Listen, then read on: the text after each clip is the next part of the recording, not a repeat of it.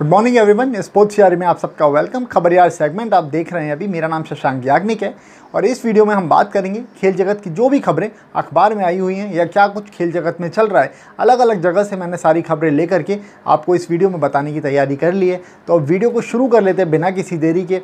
सबसे पहले हम बात करेंगे कल रात में जो मुकाबला हुआ M I versus S R H जो मुकाबला रहा, ज़बरदस्त मुकाबला रहा वो। और एक तरह से आप कह सकते हैं कि एस आर एच ने जीता हुआ मैच वहाँ पर गंवाया। मुंबई इंडियंस को इस मैच में तेरह रन से जीत मिली है और जो ज़बरदस्त प्रदर्शन मुंबई की तरफ़ से रहा, उसमें राहुल चहर ने तीन विकेट हासिल करे और फिर ट्रेंट बोल्ट ने आखिरी में आकर के तीन विकेट लिए।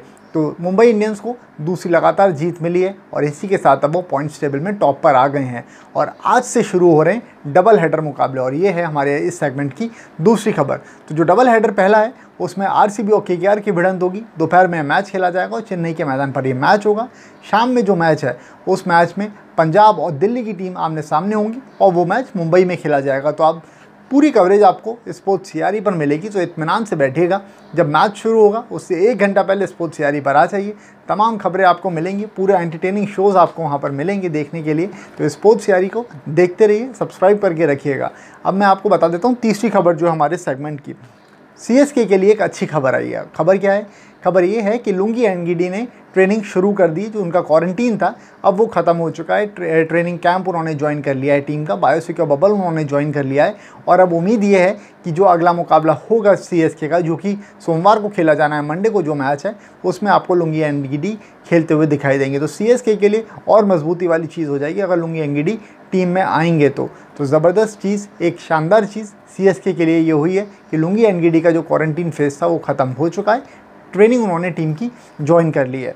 अगली खबर की तरफ़ बढ़ते हैं, जो कि हमारी चौथी खबर है, और वो इंटरनेशनल क्रिकेट से जुड़ी हुई खबर है। अब खबर क्या है? टी ट्वेंटी वर्ल्ड कप को लेकर के पाकिस्तान बहुत ज़्यादा चिंता में था कि उनको वीज़ा मिलेगा भारत आने के लिए या नहीं मिलेगा तो अब इस पर अपडेट आ गया है। खबर ये है कि पाकिस्तान को वीज़ा दिया जाएगा, जो कि होना ही था, लेकिन पाकिस्तान में क्योंकि चिंता थी इस बात की तो इस वजह से इस खबर को हाईलाइट करा गया है, और मैं भी आपको ये खबर बता रहा हूँ। इसके बाद जो अगली खबर है, उसकी तरफ़ हम बढ़ रहे हैं।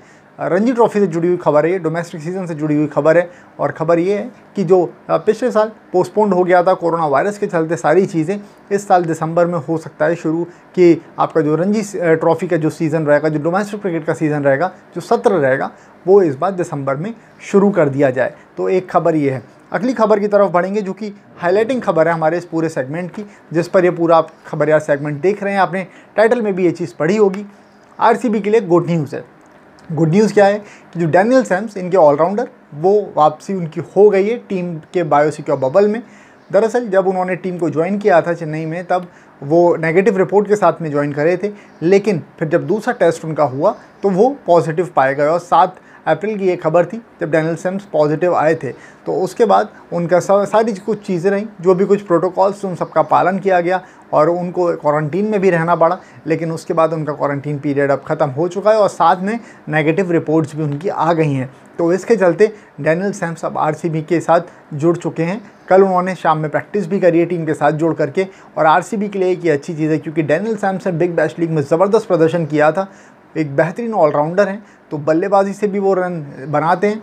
गेंदबाजी की बात करें उनकी तो वहाँ पे वो विकेट छटका करके टीम के लिए एक अच्छे ऑप्शन के रूप में साबित हो सकते हैं। तो आई होप कि आज के मैच में डैनियल सैम्स को खेलने की जगह मिले, प्लेइंग एलेवन में उनको मौका मिले, लेकिन किसकी जगह मिलेगा मौका, ये देखने वाली बात रहेगी। और ये बात विराट कोहली आपको बता देंगे जब मैच के लिए वो आएँगे टॉस पर।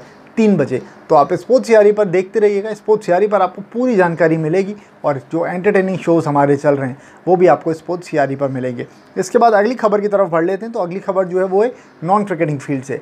अब हमारे स्पोर्ट्स मिनिस्टर जो हैं, किरण रिजिजू, वो कोविड पॉजिटिव आए हैं और अपने आप में ये कोविड सब जगह पर चल रहा है, इतना ज़्यादा फैल रहा है। जो सेकेंड वेव आई है, ये और ज़्यादा डेंजरस है। तो आप सब भी सिक्योर रहिए सेफ़ रहिए। प्लीज़ घर से बाहर मत निकलिए, अगर ज़रूरत ना हो तो। जहाँ भी आप जा रहे हो, अगर ज़रूरत पड़ने पर तो प्लीज़ मास्क पहन करके जाइए, इस्तेमाल करिए सैनिटाइज़र का। तो इन सारी चीज़ों का अगर आप ध्यान में रखेंगे तो आप कोविड से बच पाएँगे। हमारे मिनिस्टर्स सोनू सूद की भी कल खबर आई थी कि वो भी कोविड पॉजिटिव हुए हैं। तो आप सब अपना ध्यान रखिए कोविड बहुत ज़्यादा फैल रहा है। सेफ़ रहिए और सिक्योर रहिए। अगली खबर की तरफ़ हम बढ़ते हैं। अगली खबर जो है, वो फुटबॉल से जुड़ी खबर है।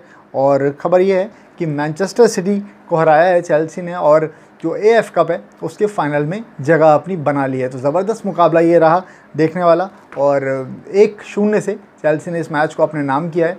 अब देखने वाली चीज़ ये रहेगी कि फ़ाइनल में किस तरीके से उनका प्रदर्शन रहता है। तो इस सेगमेंट में जो भी खबरें आई थी तमाम, वो मैंने आपको बताई है। आज खबरों की क्वांटिटी थोड़ी सी कम है और मैंने भी शॉर्ट में आपको सारी खबरें बताने की कोशिश करी ताकि जल्दी जल्दी आपको सब पता चल जाए। तो जो दो बड़ी खबरें थी आज के इस पूरे सेगमेंट की, एक तो लुंगी एनगीडी जो क्वारंटीन पीरियड उनका ख़त्म हो चुका है टीम के साथ में उन्होंने ट्रेनिंग ज्वाइन कर ली है।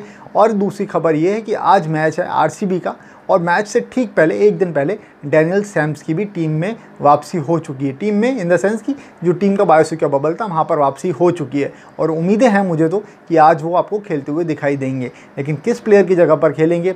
ये देखने वाली बात रही क्या विराट उनको मौका देते हैं, देखने वाली चीज़ यह भी रहेगी।